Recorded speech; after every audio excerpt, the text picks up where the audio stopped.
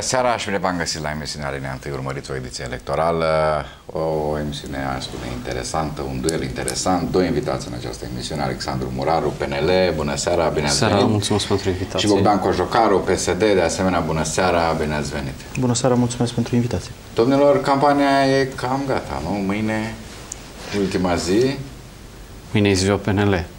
de ce? Păi facem 144 de ani de la A, înființare. ziua partidului. Ziua partidului, Am mă gândeam da. că ziua PNL a campaniei. Au fost Ziua destule, nu? Exclus să fie și Am mâine. înțeles. Bun, și ce faci? Aveți uh, o Avem Avem o, la Iași cumva? Sau? o avem, o să facem un marș din Copou până, în, uh, până la Palat uh, și acolo la, în Copou depunem o coroană de flori la statuia lui Nicolae Gane la Bun, șase campania se termină jumate. sâmbătă dimineața la Șapte, la șapte, la Deci, șapte, practic, da. Mâine noapte, toată noaptea puteți face campanie, nu? Puteți umbla pe străzi, dar fără să deranjați ordinea publică, altfel primiți amenzi, nu? Domnul Coșocaru, cum e? Vă rog.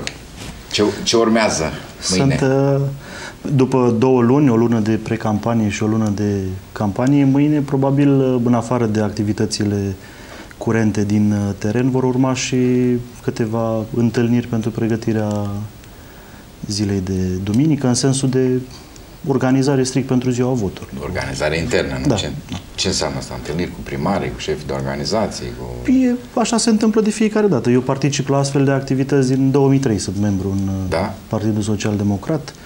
De obicei, vinerea sau sâmbătă, cu o zi, două înainte de ziua votului, sunt uh, discuții de organizare Bun, da, strict mâine pentru... încă mai e zi de campanie, adică mai Mâine puteți este zi de mulge campanie, și da. PNL și PSD și celelalte partide mai Uh, pot Dacă mă smulge întrebați ceva pe mine voturi. personal ce fac eu mâine, mâine, bă, cum am, uh, uh, la fel ca și în ultimele două luni de zile, eu răspund de zona Răducăneni.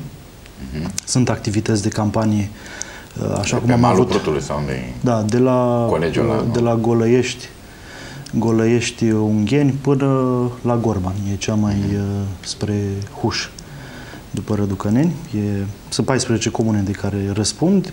Vom avea activități ca și până acum, din poartă în poartă, prezentăm uh, activitățile pe care am reușit să le facem până în acest moment din punct de vedere guvernamental. Prezentăm candidații, dar uh, cu siguranță vor fi și câteva discuții legate de partea organizatoare. Da. Pe municipiu cam firavă campania PSD-ului. Ce s-a întâmplat? Adică, spre deosebire de alte competiții, parcă o prezentă așa mai discret. Am văzut în ultimele zile niște fotografii Nu aș pe putea Facebook spune cu că- echipe ale PSD, oameni îmbrăcați în roșu, ieșim pe stradă, dar până acum n-am prea...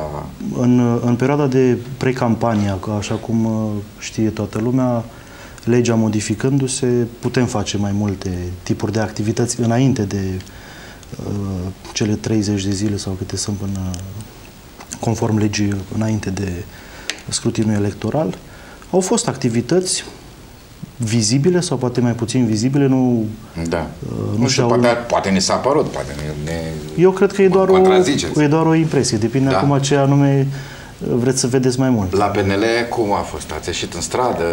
Am bătut municipiul în lung și în lat, colegii mei de la municipiu, cu Marius Bodeaș și cu toți ceilalți colegi, și județul și municipiul. Noi am avut o campanie, zic eu, foarte bună, în sensul în care și gradul de favorabilitate al oamenilor uh, s-a, s-a văzut uh, în stradă, în uh, relația cu cu oamenii, adică spre deosebire de colegii la PSD care s-au ascuns pe 9 mai cu trei rânduri de garduri în piața Unirii uh, sau ieri prin sediu Dar chiar ce, ce s-a întâmplat? uh, au intrat în ieri? sediu PNL, ei spun că v-au vrut să facă un act de curtoazie, dar nu l-am înțeles, că noi Da, am văzut când o mergeam, declarație, eu o- spre o exemplu, reacție a șefului PSD pe municipiu, dar întâi să le spunem telespectatorilor, astăzi în conferința de presă, uh, Marius Bodea a spus că cei de la PSD au fost, uh,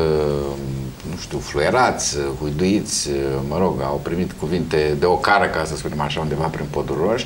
Și reprezentanții PSD, nu știu câți erau, cu Marcel Bopa în frunte, s-ar fi refugiat în sediu, în sediu PNL și de acolo Da. au fost scoși de către niște tineri. ei susțin altceva, că au vrut să mm, dea o mână prietenească. cucerească sediul PSD. Să cucerească de un sunt gest de curtoazie, dar vă spun sincer, dacă ai mei colegi au trecut de aproape zilnic pe Ștefan cel Mare când mergeau în campanie, n-au încercat niciodată să intre în sediul PSD. Bun, adevărul că și sediul PNL e la stradă, adică e ofertant, ca să zic așa, adică deschizi ușa și ai intrat în hol. Da, da nu știu, la PSD n-am, trebuie, să, n-am prea... trebuie să urci două etaje, nu? Bun, aveți vreo variantă? Da, și de alte pe acest partide. subiect, până- dar să, eu să vă Da, adică păi, vreau să Cu ascult. siguranță și colegii, așa cum a spus colegii Marius Ostaficiu, care e președintele organizației eh, PSD Iași, din câte am înțeles, va transmis eh, Nu, am văzut o declarație a făcut în, sau a, a pen, declarat, pentru adevărul, a, da. a declarat pentru, pentru alte publicații. Eh, Adevărul e undeva la mijloc. Eh, Eu, din câte am înțeles, colegii noștri au vrut doar să distribuie material de promovare în așa fel încât să vadă și colegii noștri În sediul peneliști PNL, și colegii noștri la PNL să citească un program de guvernare realizat 73% și să aibă în fața ochilor în următoarele două-trei zile un material bun de am campanie. înțeles. De acolo, din câte se pare, fiecare dintre noi și Fiecare a înțeles ce a vrut. fiecare a înțeles ce a vrut, dar uh, mi se pare o exagerare pentru că și eu acum uh, o oră sau două chiar am, uh, Ați avut, fost la am avut PNL? posibilitatea să... Nu, niciodată. Din, din păcate pentru dumneavoastră, din fericire pentru mine și sunt foarte atent la cuvintele pe care le folosesc. Uh, Am citit uh, o declarație, cred că a uh, colegului nostru uh, Costel Alexe, uh, care spunea că erau zeci, sute de oameni care îi fugăreau pe colegii noștri. Uh, Eu sunt uh, de acord ca astfel de, nu știu, uh, mici lucruri nepuse în registru încă de la început, probabil nu s-a așteptat nimeni ca ai noștri colegi să intre și să încerce să înmâneze un astfel de, uh, doc- bă, de document uh, celor de acolo să fie exploatat uh, și să exagerăm cu lucrurile acestea. Adică nu erau uh, sute de oameni care îi fugăreau pe ai noștri Da. uh, colegi. Bun, acum știți cum e. Sunt Noi niște exagerări Nu știm ce s-a și întâmplat acolo. că n-am nefiind fost. acolo, trebuie să recunosc Corect. că uh, n-am participat pentru Nu că avem eram... nici, nici, nici uh, imagini ca să ne putem da, Da. seama dacă într-adevăr Fiecare așa. Dar speculează oricum cum- e, e straniu să Dar intri mi în... se pare că era și domnul Gavrilă, nu? Ea, Uh, nu știu cine a fost ea ieri, știe, chiar vă spun cunoaște foarte că- sincer. Mă rog, de acolo a plecat în sediul PNL. Dar nu mai primim, deci dacă ideea era dacă vrea să se întoarcă, nu mai primim. Nu? Nu mai. Deci asta e, asta e știre. Deci dacă, nu știu, să spunem că se va schimba guvernarea, da? Peste Nu, nu, nu, nu e de... un timp și dacă bate la intră din Ca o greșeală rudă sau, săracă sau și cu, cu îndepărtată. intenție în sediul din Podoroș. Nu, nu, nu. Nici o nu, șansă? Nu mai, nu mai primim. Și acele vremuri în care, nu știu, când am venit la PD, nu vreau să discut deciziile de atunci, dar uh, știți cum se zice, casa părintească nu se vinde niciodată. Așa încât... Dar uh, știți cum e în politică, aoleu, Vinzi casa. vânzare, cumpărare, zi, sunt pline ziarele de, an, de anunțuri cu vânzare, cumpărare în politică. Da, uh, domnul Cojocaru, uh, cum vi s-a părut? Mie mi se pare că a fost un cred că două au fost momentele importante ale campaniei aici pe Iași. Odată meetingul, meetingul PSD din 9 mai și apoi meetingul, sau mă rog, pre, și meetingul, dar și prezența președintelui Iohannis pe 11 mai. Alea au fost momentele cele mai urmărite și cu impact inclusiv la nivel național. Vi se pare inspirată decizia, acum nu știu a cui a fost, a PSD Iași, a conducerii centrale cu acel meeting? În campanie electorală, așa cum bine știți că aveți foarte multă experiență uh, ca jurnalist, se practică astfel de întâlniri cu electoratul.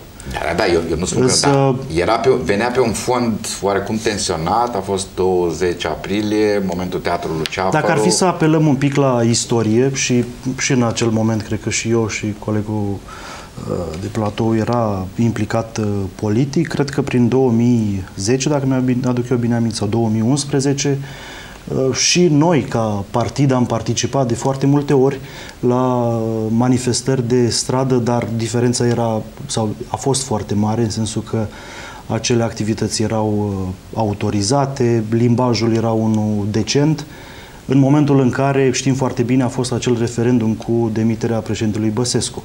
Și da, am fost și noi în stradă, de cealaltă parte a gardurilor, dar uh, decizia a fost uh, una de campanie, era absolut normal, PSD Iași și PSD Bacău, având în momentul de față reprezentanți pe lista de europarlamentari pe locuri eligibile, domnul dr. Ciuhodaru fiind pe poziția 7, domnul Dragoș Benea pe poziția 8, s-a dorit o întâlnire regională unde susținătorii Partidului Social Democrat să poată să fie împreună. Din păcate am ajuns într-un moment în care e clar că violența și nu numai cea verbală a depășit orice limită din punctul nostru fost, de vedere. N-au fost acte de violență, Uh, adică da, dincolo pentru că de, și- Eu vă spun un lucru, am fost acolo, atmosfera a fost extrem de tensionată, așa cum spuneți, am văzut foarte multe campanii, am văzut foarte multe evenimente. Chiar la un moment dat mă întrebam dacă nu vor escalada tensiunea, pentru că era, era o tensiune acolo în piață, gardurile alea destul de departe, uh, oameni furioși, chiar am văzut oameni furioși acolo. și noi eram foarte furioși în 2011-2012 pe ceea ce se întâmplă cu regimul Băsescu. Mulți din cei pe care noi atunci îi contestam au intrat din nefericire în echipa Nu, da, colegilor eu asta liberali. văd, Asta e altă fa- discuție. Faptul că bă, PSD-ul și-a făcut acțiune sau că face acțiuni în țară sau oriunde, e în regulă. Am văzut foarte multe meeting-uri sau acțiuni, dar mă întreb dacă momentul vi se pare, sau PSD Iași consideră că a avut de câștigat, are de A câștigat fost un aici moment- pe municipiu sau din potrivă, pentru că Eu- s-a creat o efervescență în oraș cum n-am mai văzut. Uh, Lăsând deoparte, s- cu toate că e imposibil de făcut acest lucru, apartenența politică, din punctul meu de vedere sunt uh, anumite lucruri absolut normale. Cei nemulțumiți să protesteze, important e ca totul să se întâmple într-un cadru legal. Faptul că uh, jandarmeria a asigurat o uh, zonă de uh, protecție a, făcut, a făcut-o din cauza lucrurilor și cu siguranță dumneavoastră știți mult mai bine uh, făcând apel la experiența dumneavoastră, se discută înainte. Jandarmeria nu a făcut acele lucruri pentru că nu știa ce pregătesc cei de după garduri. Și atunci, Bă, dar nu se existând... știa câți vin, unde se Au vor, fost se vor avertismente și cred poziționa. că niciunul dintre noi, astăzi aflați în acest platou, uh, poate să ascundă faptul că nu se uh, zvonea sau nu existau diverse zone în care uh, persoane, indiferent de opțiunea politică, Domnul Moraru, discutau să vă despre rog după aia să astfel de- comentați și despre acțiunea liberalilor Da, și momentul da. 11 Ei, mai.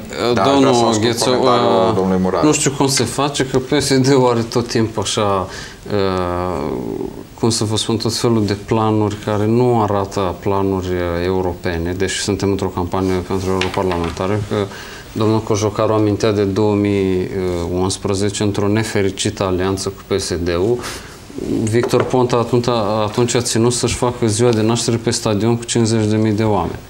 Acum vreau 70 să... de Cu 70 spun de unii. mii.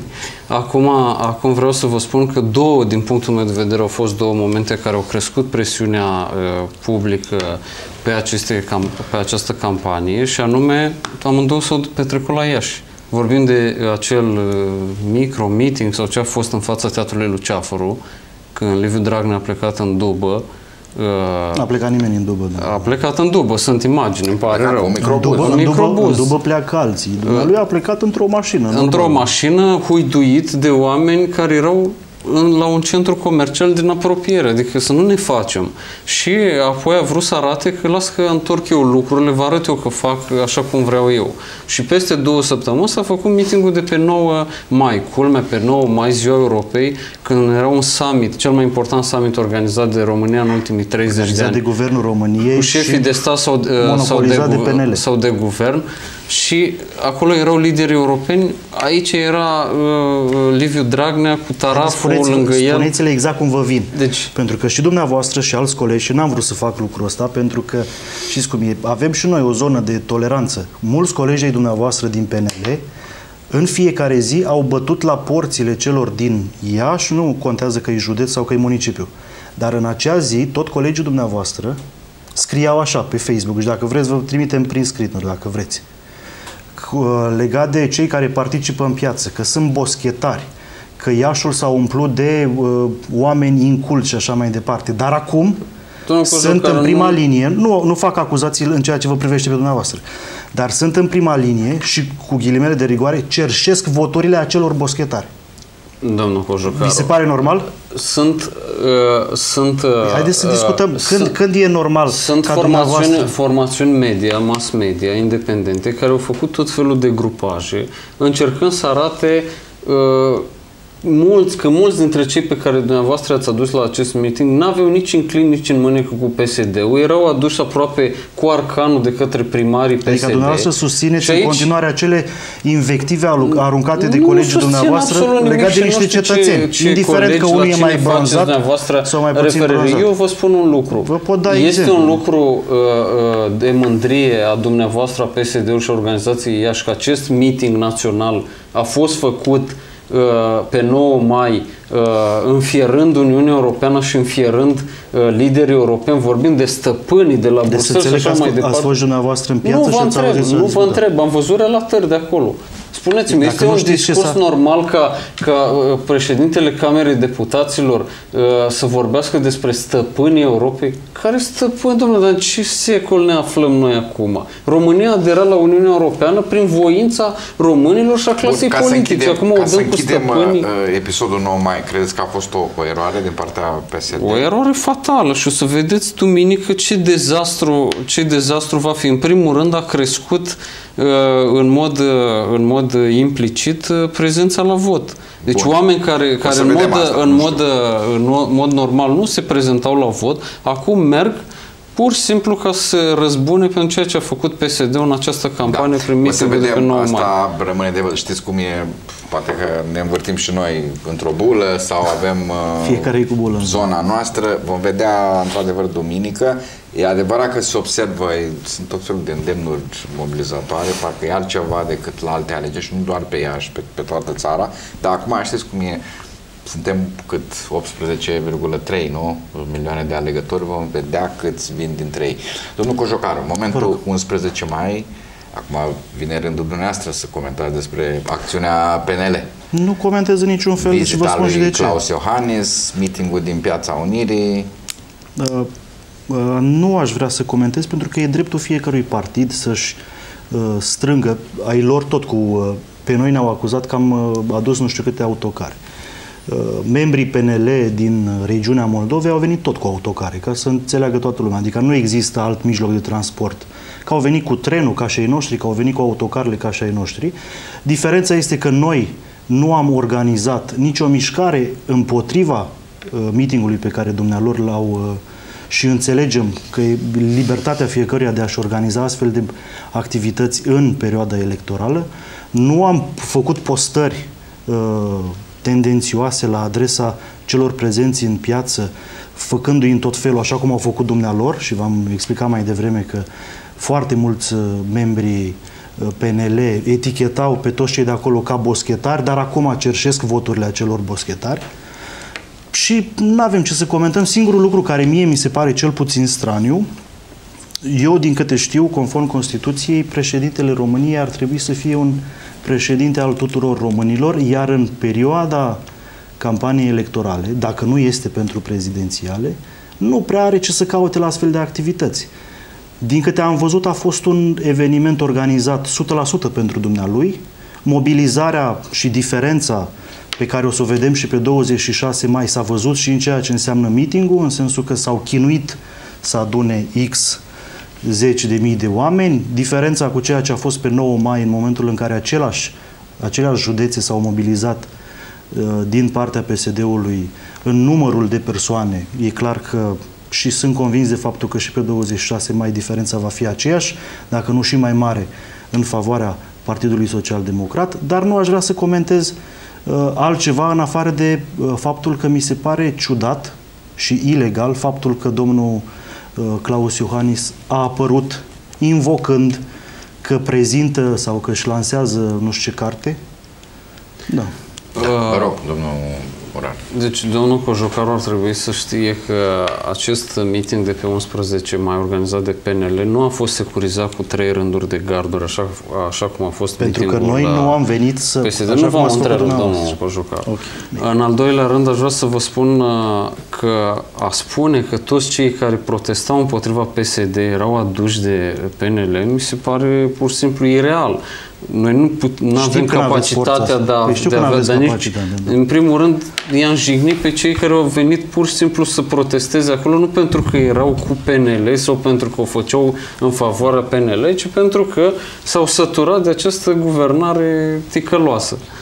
Uh, în al treilea rând, uh, uh, vreau să vă spun că aceste invective de care dumneavoastră pomeniți nu au existat. Deci nu, nu, eu nu știu că ai mei colegi să fie să fie postat Bine, așa o să ceva. Vă, o să vă dau după emisiune da. cu nume și prenume da, ca să verificați. și în ceea ce vrește prezen, prezența șefului statului, șeful statului a decla, declanșat un referendum și este aproape obligat să-și susțină această cauză.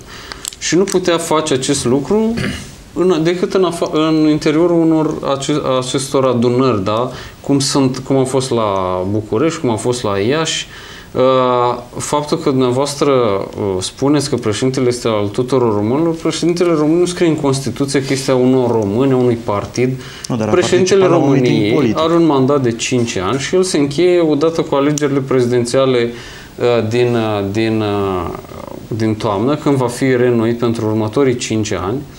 Și există decizii ale Curții Constituționale din 2009, că această dezbatere a fost în 2009, care statuează faptul că președintele nu poate să se debaraseze de haina politică. Pers- Președintele este un personaj politic, uh, nu poate fi acuzat că uh, susține o anumită cauză, a fost membru al Partidului Național Liberal înainte de a fi președintele României, uh, își păstrează rolul de mediator și, având în vedere că PSD-ul, uitați, cea mai nouă uh, cea mai nouă dovadă este aceea că CNA-ul i-a blocat șefului statului difuzarea unui, unui clip de popularizare pentru prezența la referendum.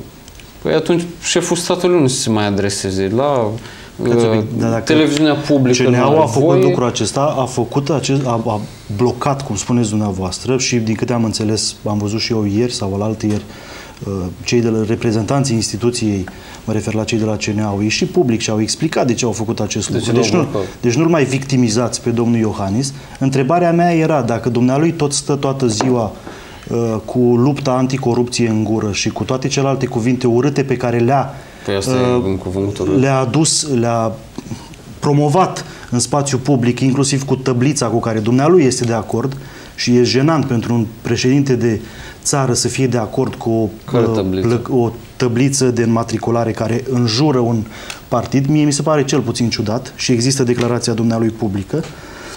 Dar lăsând Era deoparte o chestiunea asta, chimie. dumnealui tot timpul uh, se declară într-o luptă uh, cu uh, cei care fac lucruri ilegale.